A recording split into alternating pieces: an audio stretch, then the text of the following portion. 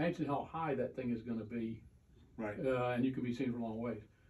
And if you were doing salute, you're on a parade, you raise that thing up, and you may not have clearance to raise it up because when you drop it down, right where your elbow is, it would be level to the ground. But imagine how high that thing's gonna be then, right. And that would be saluting during ceremonies. So the guidon bearer would have this out here on the parade ground at Fort Wallace. He's responsible for it. uh, to be, it is the symbol of the company commander, or Myles Keogh, out here. And a bugler typically would bring you messages from another company or from the, the regiment, and they would look for that guidon. The person bringing the message is almost always the second trumpeter, either from the regiment or from the companies, or no battalion formations. And he is wearing, he is riding a white horse. So the white horse rider is looking for that guidon. And if you as a guidon bearer, you would shout to the company commander, message coming. And so you'd turn around and look for the white horse coming. And that would be a signal again and a message being brought. Now, that, that is the symbol for the company commander. Or uh, there was other colors for the regimental commander. Again, there were no battalions representing that. So what this would indicate is the location also of the commander. If you're out on the prairie and you're riding, it would tell you who the commander is. By the way, if the commander falls, then there was an order of merit that would assume command. For a moment, it might be somebody within the company, but everybody knew who was the next senior officer in the regiment who would then rush to Keogh's company, and then the guidon bearer would follow that lieutenant uh, or captain as the new commander at the end of the day. And so it was order of merit. So it wasn't I Company, Keogh fell, and uh, a lieutenant assigned to Keogh. No, that's not how it worked. It would be the senior lieutenant that would assume command. If, obviously, if the guidon is with the guidon bearer, and they're off of Fort Wallace, and a visitor came, uh, maybe a senior officer came to Fort Wallace and come to the adjutant's office. And let's say this is the adjutant's office, which also was typically the guardhouse. And the guidon's missing, they would know instantly that the commander was not here. He was out on patrol somewhere else.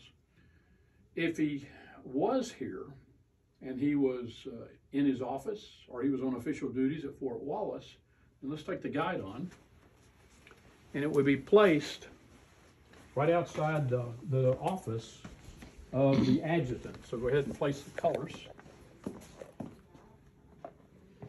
And anyone coming to visit Fort Wallace and looking for Myles Keogh, he's here, he's at work. And so when people come in here, you would expect somewhere in the immediate area, and the adjutant likely knows where he's at and send dispatch somebody that uh, somebody has come, Custer has come a calling or have messages here for you. If uh, Keogh is uh, not in his office or immediate area, but say he's uh, gone out on some official duty, he's got a, let's say he's got a detachment that's uh, on the Santa Fe, I mean the Smoky Hill Trail, a little bit further west, and he's just visiting them and anticipated back. Then the colors, the guidon base and the guidon, would be visible inside the adjutant's office, which indicates that Keogh is not immediately available. And if you look inside and the base is there but not the guidon, he's with his guidon bearer uh, out somewhere, maybe on a patrol.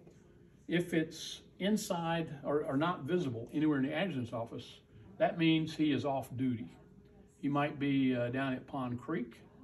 He may have uh, been taking a stagecoach over to uh, uh, Fort Harker or someplace, but he's just not available. Or if he goes to his quarters for the evening and he is not available at all, he's gone writing letters to his girlfriend back in Auburn, New York.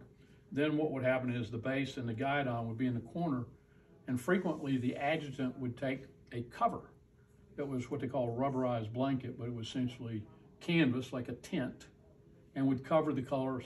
And since Keogh is not here, the adjutant would put it out of out of his way.